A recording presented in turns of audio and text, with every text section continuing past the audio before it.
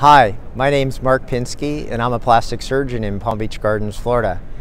And I'm here to tell you about TouchMD.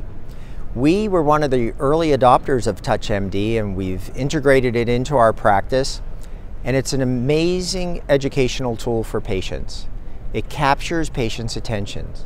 And we've actually tracked it and it's helped us with our conversion rates.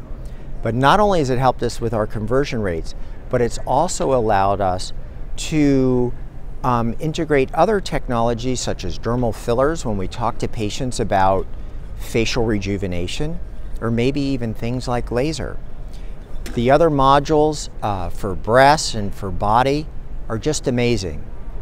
But as amazing as the technology is, probably what's even more amazing is the team. The team is there for you. Whatever you need, the team is eager to help you help your practice in whatever way that they can.